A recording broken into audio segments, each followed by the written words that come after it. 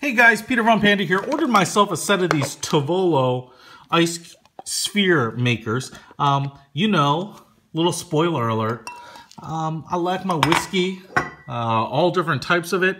And one of the things that I like doing is throwing some ice in there. And one of the issues with it is a lot of people only throw in ice because it melts a lot uh, or melts very quickly, what dilutes it. Not a big deal for me, but you know, you can use the whiskey stones that I showed you before, or you can kind of do the Japanese thing and make yourself a giant ice sphere. And the ice spheres are cool because they don't melt a lot, but um, it's also really surprising to your guests because they don't expect to get a big sphere of ice in their drink. So it's really cool. Um, I've tried a number of different ways to make them, and I like this the best. So I did get one of those uh, uh, silicone trays that make the ice spheres. That was kind of a pain, and it didn't really work that well. So I thought I'd try this, and I'm pretty happy with the results. Now, to get it to work properly, though, uh, takes a little bit of technique, which I'm going to share with you here. See, this, at least what the ones I got came in this set. They kind of look like baby food cups or whatever. And I have tried them out, and so I'm going to share my tips with you. First of all, there's two pieces. There's this lower piece with the bottom piece of the sphere. You can see here where it's going to make that lower half of your ice sphere. It's kind of a clear, translucent plastic. And then there's the top piece, which makes the top half of your sphere.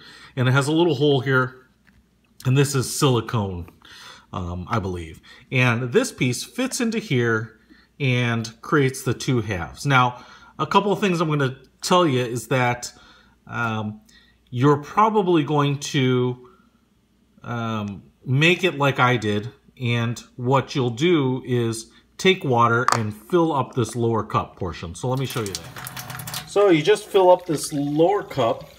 And what I've figured out is that you just fill it up all the way. Now you're going to want to do this over a sink because you, are going to obviously have excess water and you're going to put this top in here and you're just going to put it all the way in. Uh, let that excess water fall into your sink. You can see it's spouting out the little hole at the top here and kind of set the top in. So the cool thing is now your sphere is completely filled with water. And in fact, you can actually dump the excess water out that comes on the that squirts out and sits in that lid because it won't fall out of uh, the inside of the cup because this hole here is enough to let the air out, but it works like um, a straw. It's too small to lose the water. So that's pretty cool. You can, you can kind of shake off all the excess water before you put it in your freezer. If I turn it over here upside down, you can see I'm not getting any large air bubbles or anything like that here in the uh, the bottom portion rising to the top. So should be nice, nice and full. Now, what I will tell you is when you take the sucker out of the freezer, um, the top here has kind of pushed up a little bit. So, you know, if you really wanted to get a perfect sphere, you might just want to push down on this top here and vent a little extra water out of it like that. Get rid of that. And now you'll probably have that little air bubble, so you can see.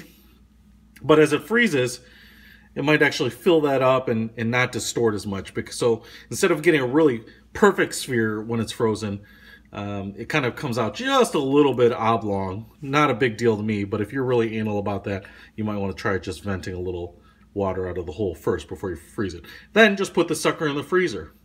Okay, so my first tip, after you take the sucker out of the freezer, you'll probably have a little water that's frozen in other places. And you can see as it froze, it kind of pushed the top up here. So um, the one thing you want to do is definitely run it under hot water, which I have going here. And not only do you want to run it under hot water, kind of, at least for a moment, but you actually, it's, it's actually not a problem to kind of melt the top layer of the ball because otherwise it's hard to get out. In fact, uh, between this clear plastic and the rubber mold lid, um, some water gets in here and freezes, and then it's actually really hard to get it out. So you want to make sure you take your time, even in the, the spaces in there, run some hot water. It's, it's probably not a big deal because if you shrink the ball down a little bit, the two and a half inch ball is still pretty big. You want to get that hot water all over. It's actually pretty, pretty hot because it's kind of hurt my hands a little bit, but there. Let's go ahead and try opening this up. Okay, so I ran this under hot water and now it's going to come apart pretty easily. And as you can see here, uh, the ball just falls out of the the uh, rubber piece. And now you've got a nice um, sphere-ish, depending on how much it expanded as it's frozen. Uh, you know, I did freeze some other ones, and I kind of really had to, you know, muscle them out of this piece. And the key there is just heat this sucker up so it's it uh, it melts a little bit and becomes pliable. Now I've got my glass here, and I'm just going to throw it in there because this ball is pretty big. As you can tell, um, you know, as you're melted it a little bit, you can see the impurities in the water have kind of uh, caused some clouding. There's a little bit of cracking. No big deal. I'm not looking for it to look like a um, science project or anything, but that's pretty cool.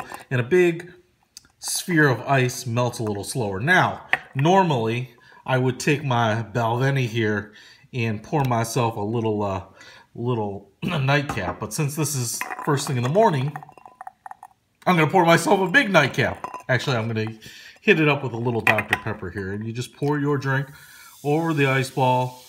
I'm not going to drown it there. Just really cool.